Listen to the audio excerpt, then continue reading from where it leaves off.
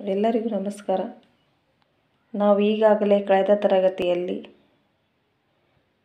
ಜಹಾಂಗೀರನ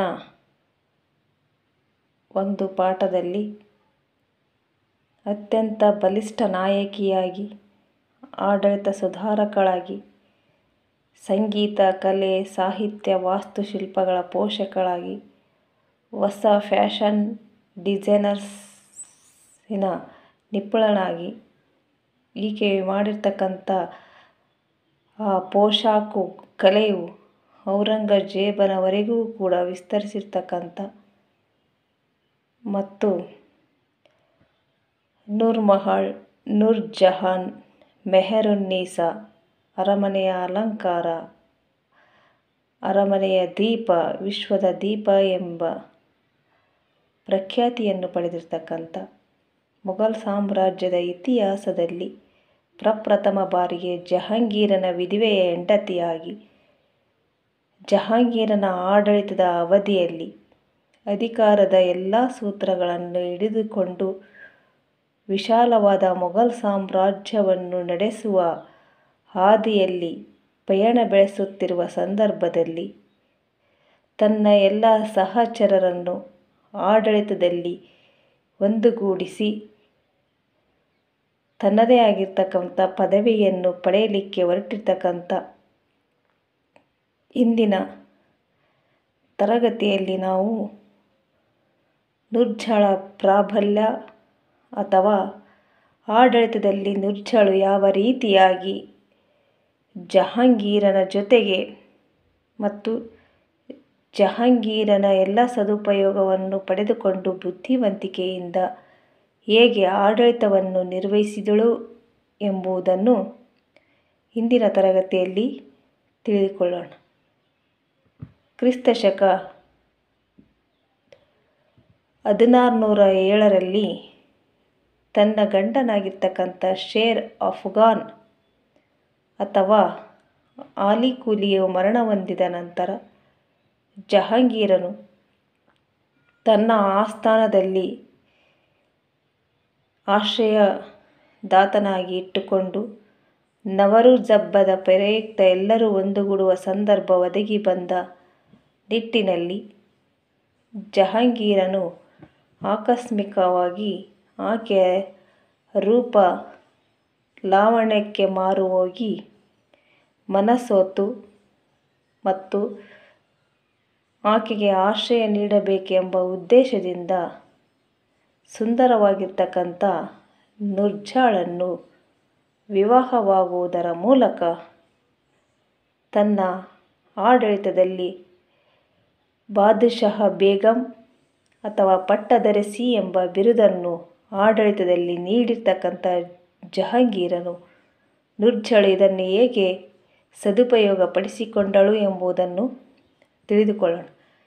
ಕ್ರಿಸ್ತಶಕ ಹದಿನಾರುನೂರ ಹದಿಮೂರರಲ್ಲಿ ನುರ್ಜಳು ಅತಿಯಾದ ಮದ್ಯಪಾನ, ಲಾಲಾಸನೆಯಿಂದ ವಿಲಾಸಿ ಜೀವನವನ್ನು ನಡೆಸ್ತಾ ಇರ್ತಕ್ಕಂಥ ಜಹಾಂಗೀರನ ಸದುಪಯೋಗವನ್ನು ಪಡೆದುಕೊಂಡಿರ್ತಕ್ಕಂಥ ನುರ್ಜಾಳು ಆತನ ಆಡಳಿತದಲ್ಲಿ ಪಾಲ್ಗೊಂಡು ಅಧಿಕಾರದ ಸೂತ್ರಗಳನ್ನು ತನ್ನ ಕೈಯಲ್ಲಿ ಕೇಂದ್ರೀಕರಿಸಲು ಯತ್ನಿಸಲು ಒಪ್ಪಿಸಿದಳು.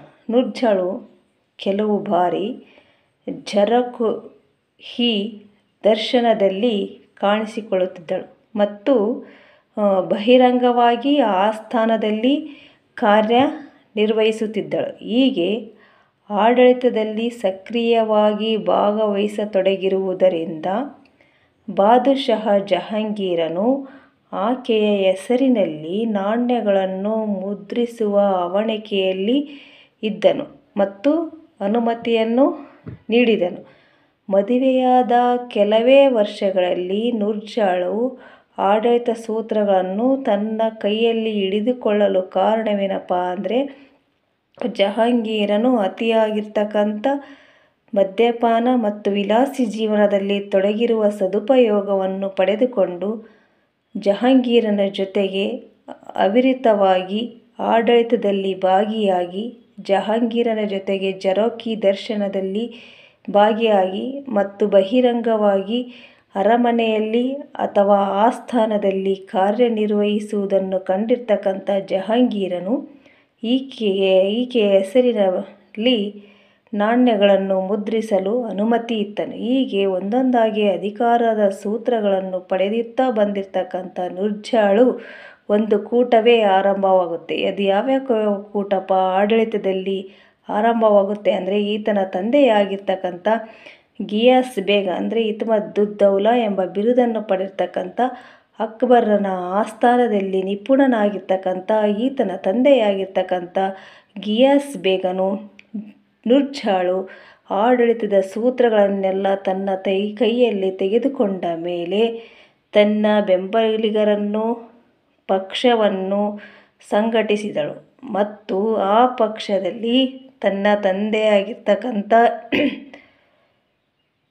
ಗಿಯಾಸ್ ಬೇಗ್ ಅದೇ ರೀತಿಯಾಗಿ ನಿರ್ಜಳ ತಾಯಿಯಾಗಿರ್ತಕ್ಕಂಥ ಅಸ್ಮತ್ ಬೇಗಂಬಳು ಸುಸಂಸ್ಕೃತಳು ಮತ್ತು ಬುದ್ಧಿಶಾಲಿ ಮಹಿಳೆಯಾಗಿದ್ದಳು. ಜೊತೆಗೆ ತನ್ನ ಅಣ್ಣನಾಗಿರ್ತಕ್ಕಂಥ ಅಸಫ್ ಖಾನು ಮತ್ತು ತನ್ನ ಮಗನಾಗಿರ್ತಕ್ಕಂಥ ಅಥವಾ ಮಲಮಗನಾಗಿರ್ತಕ್ಕಂಥ ಖುರ್ರಮ್ ಅಥವಾ ಶಹಜಾನ್ ಇವರೀರ್ವನ್ನು ಒಳಗೊಂಡಿರ್ತಕ್ಕಂಥ ಒಂದು ಒಕ್ಕೂಟವನ್ನು ಅತ್ಯಂತ ಬುದ್ಧಿವಂತಿಕೆಯಿಂದ ನುರ್ಜಾಳು ಆಡಳಿತದಲ್ಲಿ ಒಟ್ಟುಗೂಡಿಸಿದಳು.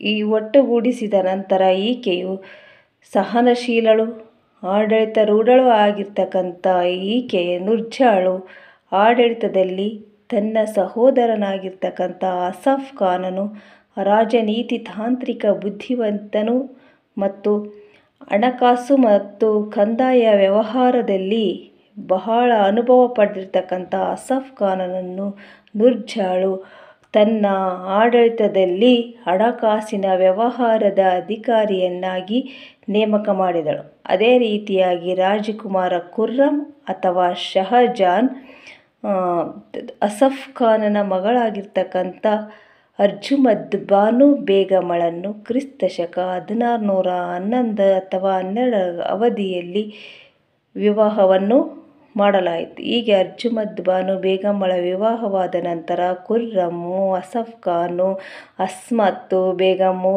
ಗಿಯಾಸ್ ಬೇಗು, ನುರ್ಜಾಳು ಹೀಗೆ ಎಲ್ಲರೂ ಒಟ್ಟುಗೂಡಿರ್ತಕ್ಕಂಥ ಒಂದು ಆಡಳಿತದ ಚುಕ್ಕಾಣಿಯಲ್ಲಿ ತನ್ನ ಅಲಿಕುಲಿಯ ಮಗಳಾಗಿರ್ತಕ್ಕಂಥ ಆಡಳಿತ ಮತ್ತು ರಾಜಕೀಯ ಕ್ಷೇತ್ರದಲ್ಲಿ ನುರ್ಜಾಳು ಬೀರಿದ ಪ್ರಭಾವದಿಂದಾಗಿ ದುಷ್ಪರಿಣಾಮಗಳು ಉಂಟಾದವು. ಕಾರಣ ಇಷ್ಟೇ, ಈಕೆ ಅಧಿಕಾರದ ಲಾಲಾಸನೆಯನ್ನು ಮೆರೆಯಲಿಲ್ಲ.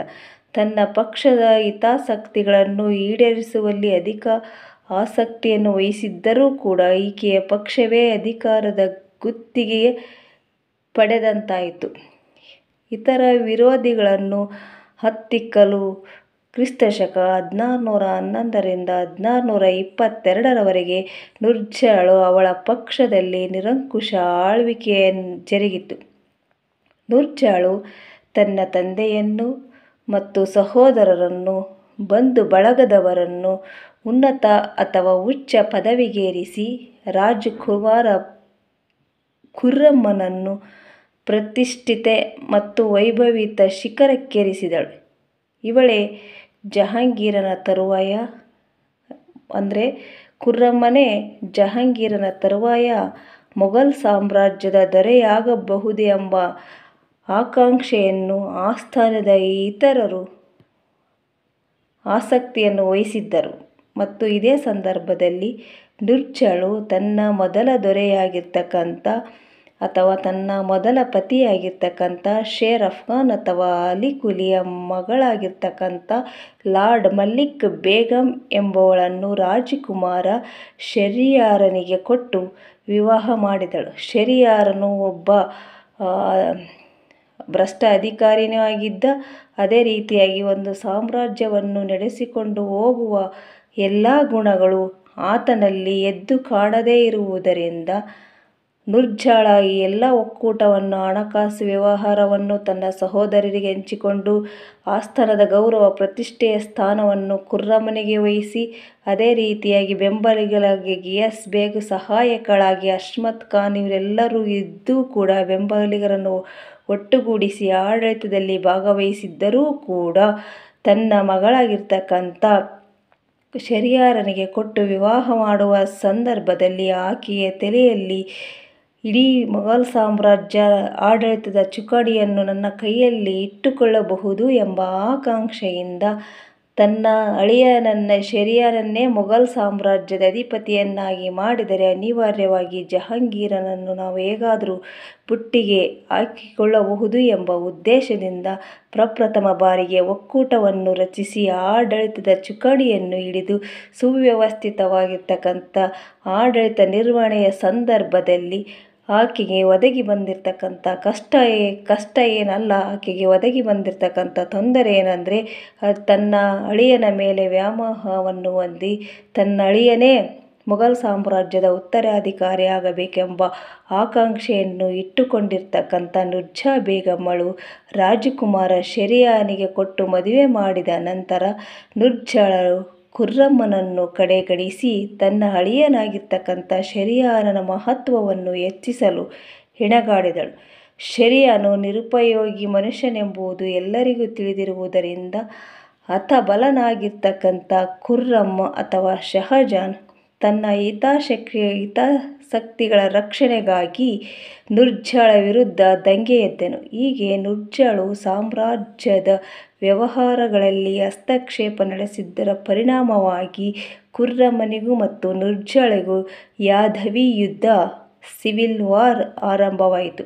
ಈಕೆಯ ಅಧಿಕಾರದಾಹ ಸ್ವಜನಪಕ್ಷಪಾತ, ವಿರೋಧಿಗಳನ್ನು ಹತ್ತಿಕ್ಕುವ ಪ್ರವೃತ್ತಿ, ನಿಷ್ಠಾವಂತ ಅಧಿಕಾರಿಗಳ ಸೇವೆಯ ಬಗ್ಗೆ ಅನಾರಾಧ ಭಾವನೆ ಉತ್ಕೃಷ್ಟತೆ ಹೊಂದಿದ ಜನಪ್ರಿಯ ಅಧಿಕಾರಿಗಳ ಬಗ್ಗೆ ಮಾತ್ಸರ್ಯ ಅಥವಾ ವಾತ್ಸಲ್ಯ ಇವೆಲ್ಲ ಕಾರಣಗಳಿಂದಾಗಿ ರಾಣಿ ಕೇವಲ ನಿಷ್ಠಾವಂತ ಹಾಗೂ ಸಮರ್ಥ ಮೊಘಲ್ ಅಧಿಕಾರಿಗಳ ನಡುವೆ ವೈಮನಸ್ಸು ಉಂಟಾಯಿತು. ಶ್ರೀ ಸಹಜವಾದ ದುರಭಿಮಾನ ಮತ್ತು ಪರಮಾಧಿಕಾರದ ಪ್ರದರ್ಶನದ ಆಕಾಂಕ್ಷೆಗಳು ಅನಿಷ್ಟ ಪರಿಣಾಮಗಳುಂಟು ಮಾಡಿದವು ಹೀಗೆ ನೂರ್ಜಾಳು ಕ್ರಿಸ್ತಶಕ ಹದಿನಾರುನೂರ ಇಪ್ಪತ್ತೆರಡು ಮತ್ತು ಇಪ್ಪತ್ತೇಳರ ಅವಧಿಯಲ್ಲಿ ಪ್ರಬಲ ವಿರೋಧಿಗಳ ಪ್ರತಿಭಟನೆಯನ್ನು ಎದುರಿಸಬೇಕಾಯಿತು. ವಿರೋಧಿ ಪಕ್ಷವನ್ನು ಸಂಘಟಿತಗೊಳಿಸುವುದರ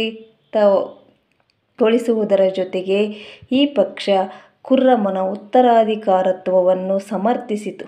ನುರ್ಜಾಳ ಆಡಳಿತದ ಎಲ್ಲ ವ್ಯವಹಾರಗಳನ್ನು ಸ್ವತಃ ಪರಿಶೀಲಿಸುವುದು ಅಸಾಧ್ಯವೆಂದು ಮನಗಂಡಿತು ಇದೇ ಸಂದರ್ಭದಲ್ಲಿ ತನ್ನ ಕುರ್ರಮ್ಮನ ಜೊತೆಗೆ ಯಾದವಿ ಯುದ್ಧವನ್ನು ಮುಂದುವರಿಸುವ ಅವಣಿಕೆಯಲ್ಲಿರ್ತಕ್ಕಂಥ ನುಜ್ಜಾಳು, ತನ್ನ ಪತಿಯಾಗಿರ್ತಕ್ಕಂಥ ಕ್ರಿಸ್ತಶಕ ಹದಿನಾರುನೂರ ಇಪ್ಪತ್ತೇಳರಲ್ಲಿ ಮಿತಿ ಮೀರಿದ ಮದ್ಯ ಸೇವನೆಯಿಂದ ಜಹಾಂಗೀರನು ಸದೃಢ ಶರೀರವನ್ನು ಸುಧಾರಣೆಗಾಗಿ ಹಂಬಲಿಸುತ್ತಿದ್ದನು.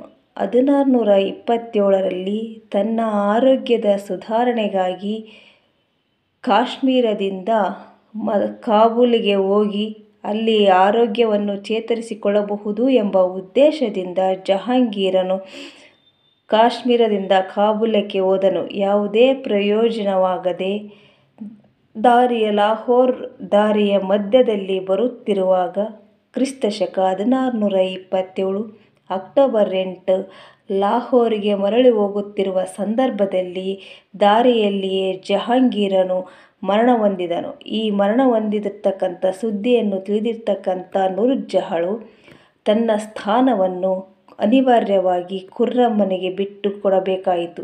ಹೀಗೆ ಸದ್ಗುಣ ಸಂಪನ್ನಳು, ಕ್ರಿಯಾಶೀಲಳು, ಪ್ರಪ್ರಥಮ ಬಾರಿಗೆ ಎಲ್ಲರನ್ನು ಒಟ್ಟುಗೂಡಿಸಿ ಆಡಳಿತವನ್ನು ಕೇಂದ್ರೀಕರಿಸಿರ್ತಕ್ಕಂಥ ನುರ್ಜಳ ಅತಿ ಲಾಲಾಸನೆ ಮತ್ತು ಅತಿ ಆಸೆಯಿಂದ ತನ್ನ ಅಳಿಯನಾಗಿರ್ತಕ್ಕಂಥ ಶರೀರನನ್ನು ಆಡಳಿತದಲ್ಲಿ ಅಥವಾ ಮೊಘಲ್ ಸಾಮ್ರಾಜ್ಯದಲ್ಲಿ ವಿಲೀನಗೊಳಿಸಬೇಕೆಂಬ ಉದ್ದೇಶದಿಂದ ಹೊರಟಿರ್ತಕ್ಕಂಥ ನುರ್ಜಳು ಅನಿವಾರ್ಯವಾಗಿ ಜಹಾಂಗೀರನ ಮರಣದವರೆಗೂ ಮರಣದ ಶಂಕೆಯನ್ನು ತಿಳಿದ ನಂತರ ಅನಿವಾರ್ಯವಾಗಿ ಆಕೆ ಸಂಧಾನವನ್ನು ಮಾಡಿಕೊಂಡಳು. ಹೀಗೆ ಹದಿನಾರುನೂರ ಇಪ್ಪತ್ತೇಳರಲ್ಲಿ ಜಹಾಂಗೀರನು ಮಡಿದ ನಂತರ ತನ್ನ ತನ್ನ ಸ್ಥಾನದ ಪದವಿಯನ್ನು ಖುರ್ರಮ್ ಅಥವಾ ಶಹಜಾರನಿಗೆ ಬಿಟ್ಟುಕೊಡಬೇಕಾಯಿತು. ಶಹಜಾರನು ಈಕೆಗೆ ಪ್ರತಿ ಮಾಸಾಚನ ಎರಡು ಲಕ್ಷ ರೂಪಾಯಿಯನ್ನು ನೀಡಿ, ಅತ್ಯಂತ ಲಾಲನೆ, ಪಾಲನೆ, ಪೋಷಣೆಯಿಂದ ತನ್ನ ತಾಯಿಯನ್ನು ಗೌರವಿಸುತ್ತಿದ್ದ. ಹೀಗೆ ಕ್ರಿಸ್ತಶಕ ಹದಿನಾರು ನೂರ ನಲವತ್ತೈದರವರೆಗೂ ಕೂಡ ನುರ್ಜಾಳು ಸ್ವತಂತ್ರವಾಗಿ ಮೊಘಲ್ ಸಾಮ್ರಾಜ್ಯದ ವೀರ ಮಹಿಳೆಯಾಗಿ ಹೊರಹೊಮ್ಮಿರ್ತಕ್ಕಂಥ ನುರ್ಜಾಳು ಆಡಳಿತ ಇನ್ನೇನು ಕೇಂದ್ರೀಕರಿಸಿ ಸುವ್ಯವಸ್ಥಿತವಾಗಿ ನಡೆಸಿಕೊಳ್ಳಬೇಕೆಂಬ ಉದ್ದೇಶದಿಂದ ಜಹಾಂಗೀರನ ಮರಣದ ನಂತರ ಆಕೆ ಎಲ್ಲ ಆಸೆಗಳು ಈಡೇರದೇ ಇರುವುದರಿಂದ ಅನಿವಾರ್ಯವಾಗಿ ತನ್ನ ಆಡಳಿತವನ್ನು ಮುಂದುವರಿಸದೆ ಶಹಜಾನಿಗೆ ಬಿಟ್ಟುಕೊಟ್ಟಳು. ಹೀಗೆ ಮಧ್ಯಕಾಲೀನ ಭಾರತದ ಇತಿಹಾಸದಲ್ಲಿ ಮೊಘಲ್ ಸಾಮ್ರಾಜ್ಯದಲ್ಲಿ ಪ್ರಪ್ರಥಮ ಬಾರಿಯಾಗಿ ವೀರ ಮಹಿಳೆಯಾಗಿ ಹೊರಹೊಮ್ಮಿರ್ತಕ್ಕಂಥ ನೂರ್ಜಾಳ ಪ್ರಾಬಲ್ಯ ಮತ್ತು ಆಡಳಿತದ ಸೂತ್ರದಲ್ಲಿ ಯಾವ ರೀತಿಯಾಗಿ ಭಾಗಿಯಾಗಿದ್ದಳು ಎಂಬುದನ್ನು ತಿಳಿದುಕೊಂಡಿದ್ದೇವೆ. ಮುಂದಿನ ತರಗತಿಯಲ್ಲಿ ನಾವು ಮುಂದುವರಿದ ಭಾಗವಾಗಿರ್ತಕ್ಕಂಥ ಜಹಾಂಗೀರನು ತನ್ನ ಸಾಮ್ರಾಜ್ಯ ವಿಸ್ತರಣೆಯಲ್ಲಿ ಹೇಗೆ ತೊಡಗಿದ್ದ ಎಂಬುದನ್ನು ತಿಳಿದುಕೊಳ್ಳೋಣ. ಎಲ್ಲರಿಗೂ ಧನ್ಯವಾದ.